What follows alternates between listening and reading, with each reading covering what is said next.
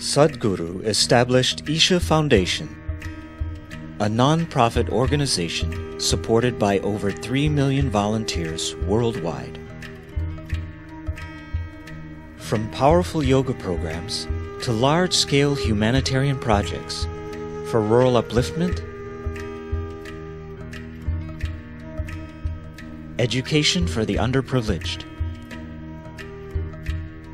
environmental restoration,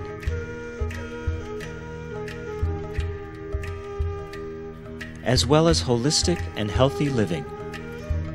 The Foundation's activities are designed to create an inclusive culture and establish global harmony.